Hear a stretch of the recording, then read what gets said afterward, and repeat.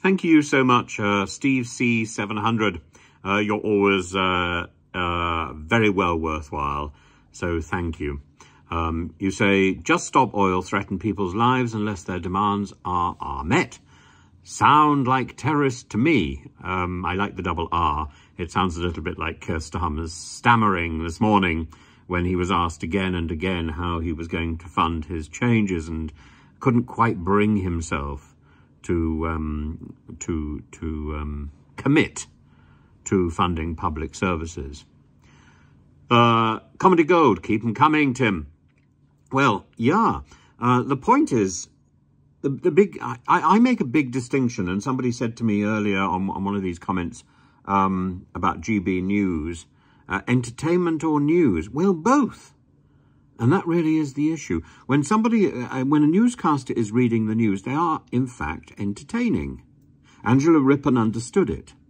Not, not by uh, showing us her legs and dancing, but simply by the poise, by the uh, gravitas of her delivery. It is a performance. It is a performance. And some people are good at it. Some people have charisma. Some people, frankly, don't. Uh, Angela Rippon, she could have read the um, a, a, recipe book, and it would have given me a lot of entertainment. I would have, uh, I, I, I, would have lapped it up. Um, and uh, Huw Edwards was particularly gifted from that point of view. Uh, I think there are many other people who are gifted as entertainers, even though they are reading or delivering the news. There are some who clearly look as if they're reading the auto cue, and I'm bored almost by the moment that they appear. They can be on ITV, on BBC, on uh, GB News, on Talk TV. Nadine Dorries is a very good example, but she is so um, maladroit when it comes to reading the auto cue that she is faintly funny. And one just watches, uh, longing for the next slip up and, uh, and, and to see the reaction of her guests. And that in itself is entertaining. That in itself makes her presentation sort of worthwhile, uh, like, um, like, like, like watching a car crash. I suppose, though I don't think I really want to spend my time watching car crashes.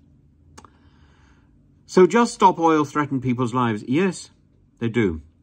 But at the moment, they are not a prescribed organisation or uh, deemed a terrorist organisation. So therefore, whatever their threats are, and whatever their activity may be and their, their various attempts to attract attention, uh, you know, the, the, um, the suffragettes were extraordinarily bold and shocking in the way that they uh, pursued their goal.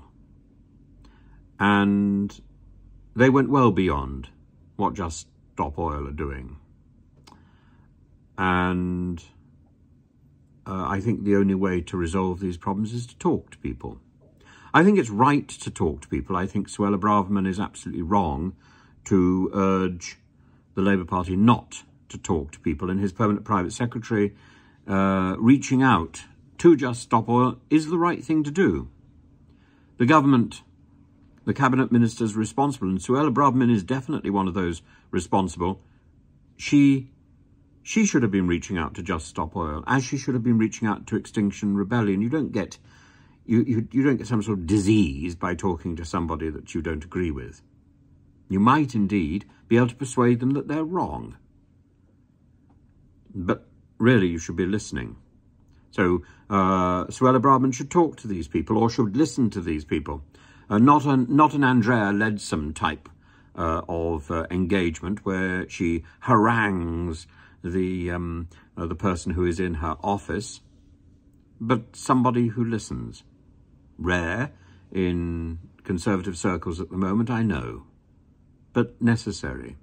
And if the Conservatives won't do it, the Labour Party should, or the Liberal Party.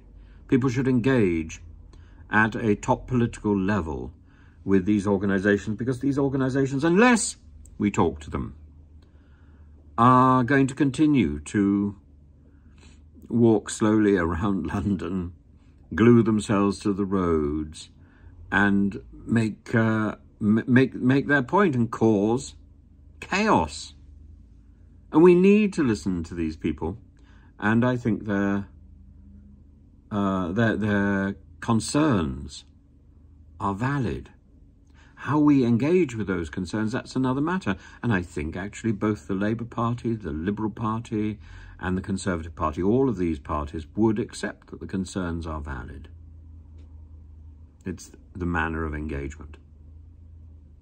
So uh, I, I, I, just go back to, I, I, was just looking at the, at the letter that Suella Braverman sent to Keir Starmer, and I cannot get over how rude she is. How rude, how patronising, how condescending, how superior, how snide. That's not the politics of my youth.